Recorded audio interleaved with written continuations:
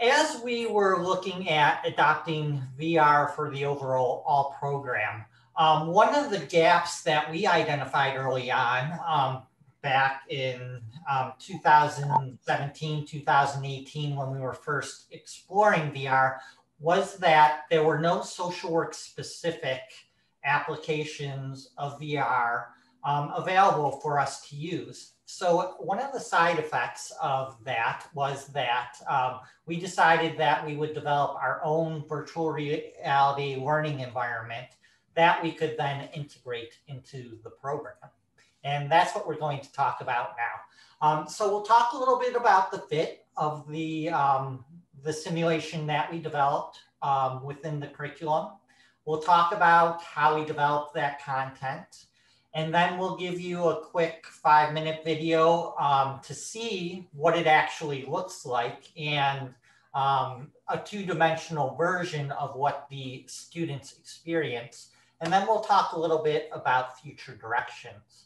Um, on the screen here, you're seeing a graphic of our development program. Unfortunately, we don't have a lot of time today, so I can't really get into that. But if you're interested in learning more about how we develop this, please reach out to me and I'd be happy to discuss that in more detail. Um, so if you want to go to the next slide. Um, so the first thing as we were exploring VR is we really wanted to figure out how we could fit some sort of learning environment into our curriculum and where it made sense to do that. Um, so we really started to think about how we could develop an experiential learning experience for our students that would be engaging um, and would be applicable to um, skills or understanding that they would need for their practice and their profession. Um, so looking at the curriculum and what VR would allow us to do, um, we came up with the idea of developing a virtual agency, which students could walk through and evaluate on how trauma informed that agency um, would look like. Um, we thought this was a great fit because as this is an online program, it would be impossible for us to bring our students together and visit actual agencies. Not to mention that would be disruptive to those agencies and their clientele. And also with the way trauma-informed principles work, some agencies are very good at some things and not so good at others. So it would be impossible for us to find a single agency that would represent both the best and the worst of what trauma-informed looks like. So we thought that by developing this virtual simulation, we could offer the students a learning experience that we could not do in any other way using other technologies or in-person learning. Next. Um, again, we, we chose to position this, uh, the exploration of this with students in the doctoral seminar in trauma and human rights, um, uh, which I teach, and also to do that scaffolding of getting them more used to uh, being in VR across applications, um, and then it also really addresses the content of the course, of um, in, in terms of looking at physical environments and the degree to which trauma-informed principles are evident within those physical environments and allowing us to manipulate that. Um, so again, it, it, seemed to be a good place to position this. And now I'm gonna um, move over to Samantha Corey uh, to talk about trauma-informed approaches. Thanks, Mickey. Mm-hmm. So being trauma informed at its core, there's a couple concrete ways to, to think about this. The first and foremost is it really is a full organizational paradigm shift, if you will, no matter what kind of organization agency you're talking about. Our uh, VR was in a, a, clinic, but certainly this applies to schools, hospitals, higher ed, you know, wherever it makes sense. And as you can see here on the slide, it is really this uh, paradigm shift where, where we're asking instead of what's wrong with somebody, it asks everybody in the system from uh, individuals to policies, procedures, the way we do work to really uh, mirror this piece around what has happened. Right. And so the way that this is being described is the, the new universal precaution, so to speak. So if you think about healthcare, for example, right, they put on gloves when they come in contact with any kind of uh, body fluid, right? They don't ask, do you have this? Or are you infected with this? They just put on gloves just in case. Right. And so trauma informed care is termed the new universal precaution because similar, we are just assuming that everybody we come in contact with or anybody that comes into our clinic or our school or wherever we might be likely has a history of adversity, if not trauma. And as Mickey had mentioned before in the previous presentation, we really want to neutralize the potential for unintentionally um, re-triggering or what we call re-traumatizing individuals, both you know clients and, and, and patients and students, but also the actual workforce that are delivering the services or doing what it is that they're doing. And so to, to sum this up, really the Substance Abuse and Mental Health Services Administration or SAMHSA talks about the four R's, right? So we realize that individuals and staff are likely to have histories of trauma. Um, we are able to recognize what that looks like in terms of signs or symptoms, if you will, indicators that trauma might be present. And we respond in the context of whatever our role or whatever our system is designed to do in a way that resists re traumatization. So, next slide, please, Mickey. And so, you know, this really comes down to what we call the, the values and principles of trauma informed uh, care, which you've heard us mention a couple of times already this afternoon. And when thinking about the environment specifically, certainly these values and principles, which you can see here are safety, trustworthiness, choice, collaboration, empowerment, it's possible to at least do no more harm, basically. We are, we are neutralizing the potential for that re-traumatization from happening and then therefore hopefully promoting opportunity for, for healing and growth. And so what I will note is that there is a level of cultural, historical, and gender issues that are woven into all five of these values and principles. And we were very intentional about thinking about that as we were developing the um, VR simulation. And so for the sake of time, I'm just gonna give you uh, two examples of how we thought about these values and principles in the context of an actual physical space or the virtual space, right?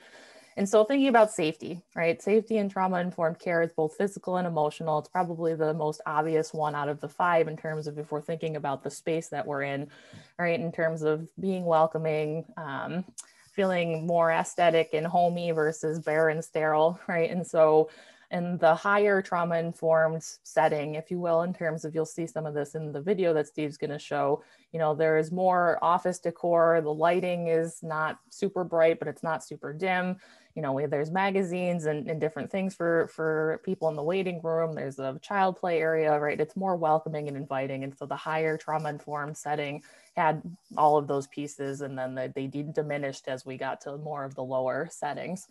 In terms of trustworthiness is just one more example before I pass it back to, to Mickey. This really is about transparency.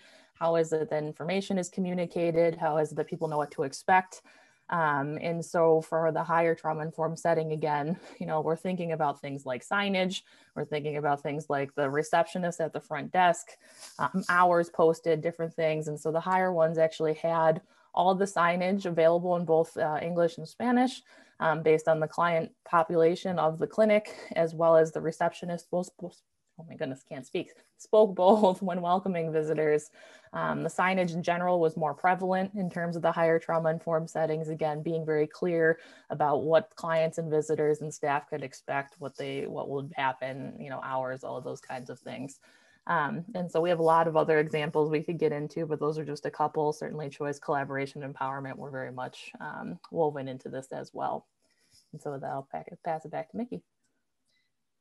Thanks, Sam. Um, so yeah, really, uh, we wanted to develop this space that would allow students to actually walk through and evaluate all, all of those principles um, in that context and, and allow us also to manipulate that context so that we could have uh, sort of low, medium, and high levels of the expression of these um, uh, concepts. And for this, we had to look across um, a lot of different literatures actually to look at, um, uh, you know, human design, human-centered design principles, accessibility, and, and things like that. And of course, the trauma-informed literature. Um, and, and this allows the students to experience um, these different levels, but also allows them to evaluate uh, this particular um, virtual agency on the application of those principles um, within the setting.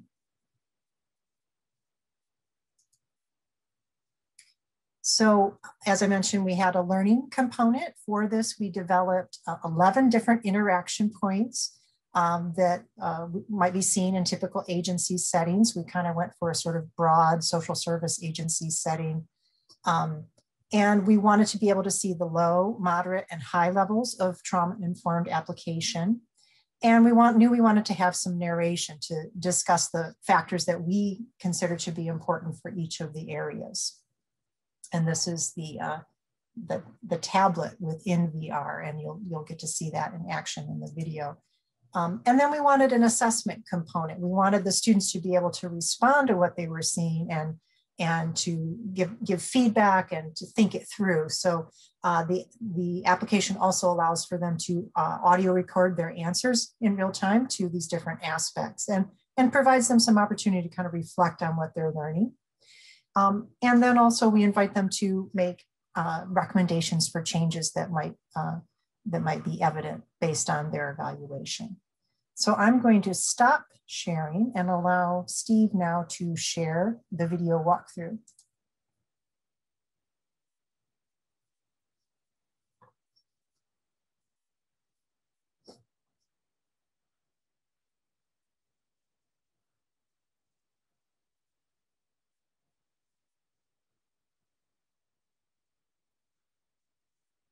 Sorry, hopefully everyone is seeing this, but this is what the students see.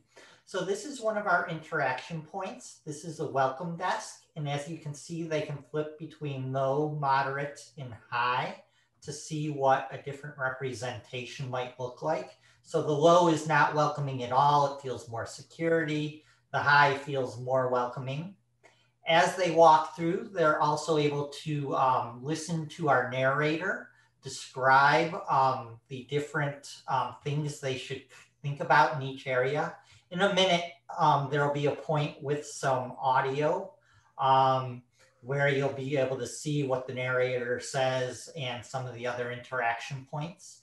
But the students are able to move through the agency, move through the different areas, and interact with um, the different parts of the agency to see what the possibilities are and to get some idea of what they should consider. For instance, here's another example, bulletin boards. Um, the way the information is presented, whether it's relevant to the population, are all things that the um, students should. You're late for your appointment, but I think we can still fit you in. Take a seat and fill out this intake form to the best of your ability while you wait. Hi, how are you? Please fill out this intake form while you're waiting for your appointment. Welcome, bienvenidos. We're glad you're here. Would you please fill out this form for us while you're waiting for your appointment? So those are just the three different levels of TI for how they um, would interact with the receptionist. And um, next you'll see in here what they actually get from the narrator as they are moving through. If you have any questions about the form, just let me know. Feel free to have some water while you wait. Please let me know if you need anything else.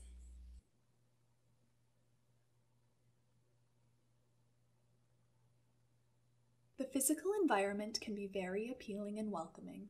However, relationship and engagement are critical for a sense of emotional safety. How individuals are greeted by the agency's receptionist is often the first interaction when someone visits an agency. In order for all individuals to feel safe, supported, and to begin to build trust in the treatment environment, it is critical that all interactions be positive, welcoming, and respectful. So, as they're moving through the environment, they not only get to experience it, but we have that narrator acting as the more knowledgeable other in helping them understand the different things they should be paying attention to, the different um, qualities of the environment that could possibly be changed to make it more trauma informed, and some ju just some general thoughts about um, how an agency should be set up so that it is more trauma informed. So this is the first part of the uh, simulation where the students um, can go through and actually learn more about the principles, um, this is integrated with, will be integrated with other materials we develop in the course so that they can get some prior knowledge about the principles and what they could expect. Um, so this just helps reinforce that other information that they've been learning. Um, as Mickey stated, we also have an assessment portion. Um, and you'll see that in a second. Um, but what the assessment portion allows them to do is go through and rate each of the areas. Um, they're given a different level of trauma informedness for each area, and that's random. And so they have to decide whether what they're seeing is low, medium, or high. And then, as Mickey said, they're able to record an audio description of what they're seeing, what they would improve, and how they would do that. So that is the video portion. I'm going to stop sharing this and turn it back over to Mickey.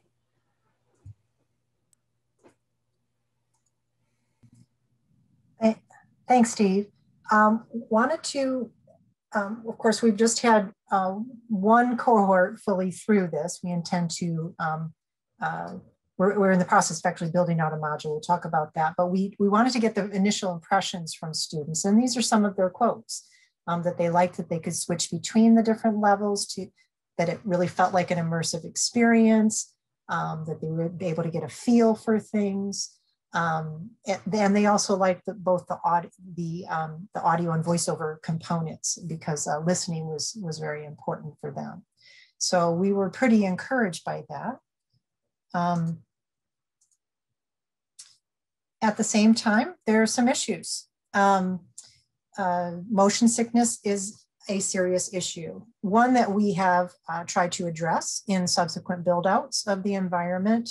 Um, uh, Steve, you can speak to the technical language of it, but it's about um, the frames, right? Like uh, reducing the, the frames. Can you explain that a little bit more?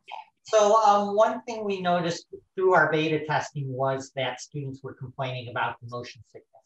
So as students move through the environment, they have the option to either use free motion, um, use, moving with the joystick, that type of thing, or they can teleport, which is a way to uh, move without experiencing as much motion sickness. But based upon their feedback, we did slow down the free motion and did some more testing, and that seems to have alleviated a lot of the motion sickness. Um, so we were able, we were happy to identify that early and hopefully our fix is going to improve that for everyone moving forward. Yeah, thanks, Steve. We also addressed things like the stylus was at a slightly awkward angle for how they were holding it. So we did some changes there. Um, there's that difficulty side loading the simulation into the headset that we described before. Um, and uh, not sure what we can do about that at this stage, but something we're working on. And there was some um, need for us to clarify uh, the difference between the instructional and the assessment components and make that sort of walk students through that a little bit more easily. So that's um, something that we were addressing in subsequent builds. Um, we're, at, we're actually have just received what the, um, the developers think is the final build and we're, we're giving them our final feedback right now.